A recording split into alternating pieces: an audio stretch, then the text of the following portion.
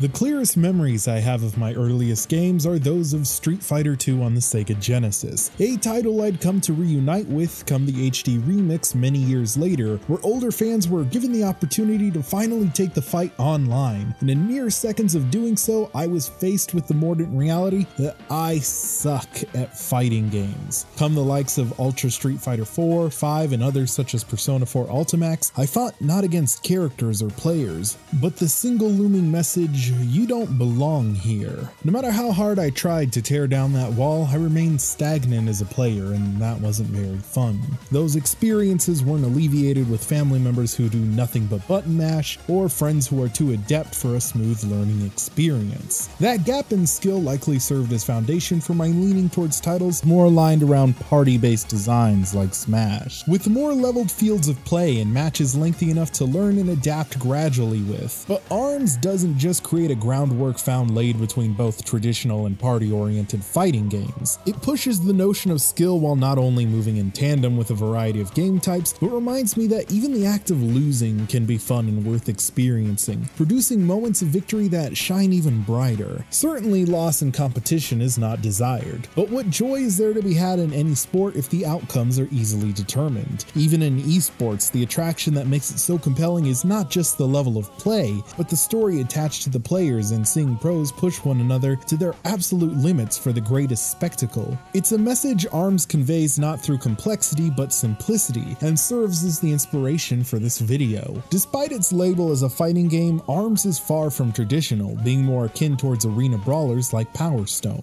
With its interactive playing fields capable of inducing changes in how players can maneuver environments, alongside what strategies are viable, it even includes Smash-styled item drops to damage, heal, paralyze, speed up players and their special meters. But true to its name, ARM's biggest draw is the trade-off of fireballs and combos for two custom arms, their loadouts, and the player's unique ability to designate the curvature of their attacks. This alleviates the player's need to recall and learn combos and special skills, and evens the playing field by shifting focus towards player spacing and reading your opponent. It's a straightforward acknowledgement that places everyone on equal footing, so when you lose, you know it's not because of a gap in skill or knowledge of combos and specials, but a gap in the player's ability to read the other player, turning ARMS into a title focused entirely around mind games. The time it takes ARMS to travel and how they correspond to weapon weight and abilities not only grants a great depth to strategy, but gives both players the means to more easily read their enemy's attacks. It's that space of time that grants a heavy focus on player mentality, as combat becomes about manipulating both distraction and reaction for a desired effect, lest your arms be met with opposition and flounder. Undoubtedly, this makes the title more appealing for anyone unskilled in the genre, but what makes ARMS experience so endearing is its online and where the fun truly begins. Before anything even happens, you're kicked into a unique tournament-styled lobby, and everything afterwards is pure chance. And that is, at least in terms of casual play, the title's core redeeming quality from monotony, and what kept me playing through each test punch session. It's not just a simple showcase of participants, but a spectator's lounge for players to observe the challenges others are engaged in so as to monitor their progress. ARMS isn't just about brawling, but games utilizing hands from the likes of Target Break to basketball, and they're even blended with co-op and free-for-all. The beauty is it keeps each new battle feeling fresh with slight mix-ups, never giving a single game type a chance to overstay its welcome. Winning or losing gives you varying rewards, and the higher the number, the bigger the target for participants for hopes of claiming the spot of number one. The longer you play, the greater those rewards as they're handed out every few checkpoints. But being number one isn't easy. It asks a certain level of competency for each possible game mode, but even if you're bad in one of them, so long as you're good at the others, you still have a shot. But that's what makes the path to victory even more satisfying when done so. There's always something to master, and that balance of shifting modes gives every player a chance to excel at something. This results in players settling into a comfort zone that the game hooks them in with so as it can then push them into improving other areas that all work off the same core mechanics. So while victories in standard brawls may be challenging yet common, they'll never quite come off as satisfying as the hard fought ones in V-Ball, especially if you're challenging another player who is consistently besting you in a single game type, making revenge something to savor. However, it in turn makes those battles against other players of similar skill seemingly less common, yet something more worth cherishing when they do occur. But they're not just good for a challenge, they're perfect moments for inciting player rivalries and granting players cause to remain in lobbies longer than previously anticipated, if only to settle the score. That makes the lobby something even greater as it turns even the act of waiting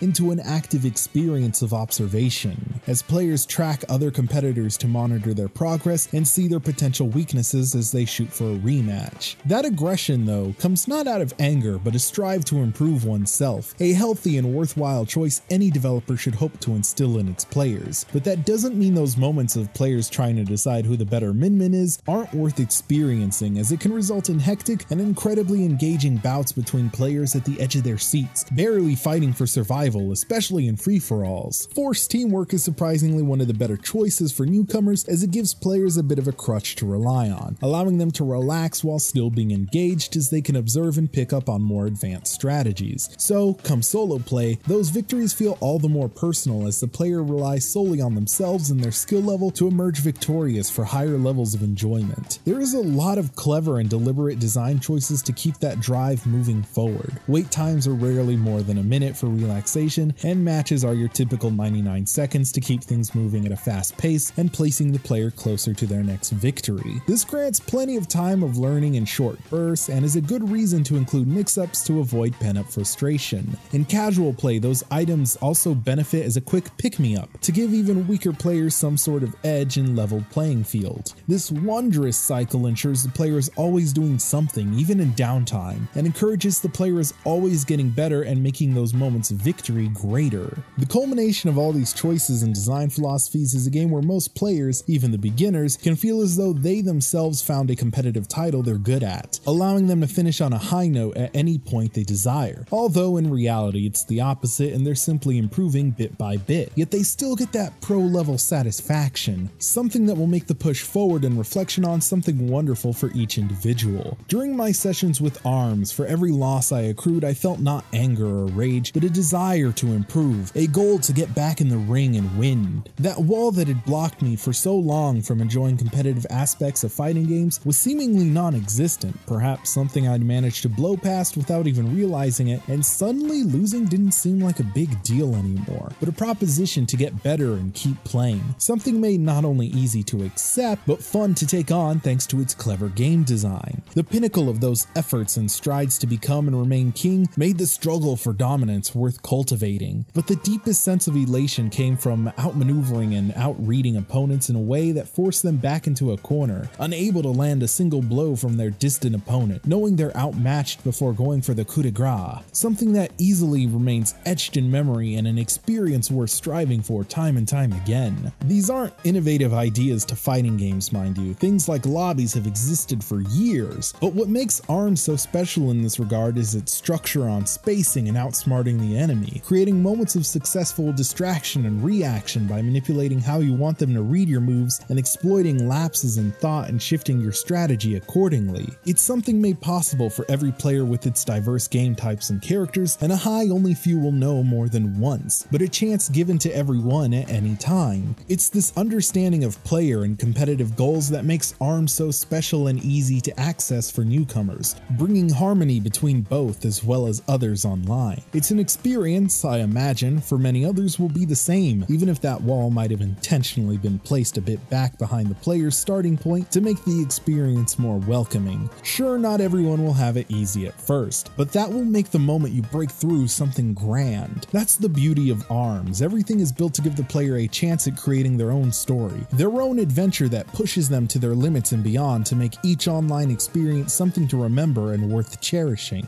Of course, there will always be some exploits in fighting games that can sour an experience. As it stands now, grabs seem a bit overpowered to the point some players will rely on them alone, teammates hitting you in the middle of finishing a fight is never fun, and the rope binding players together kind of sucks. But all that can be fixed with fine tuning in the community as the players develop and come to understand each game type and each other better. But even when all is said and done, ARMS is a joy worth experiencing and something I hope you can join me in playing and something I'm very much looking forward to playing again. Thank you all so much for watching, much love, and I'll see you in the next one.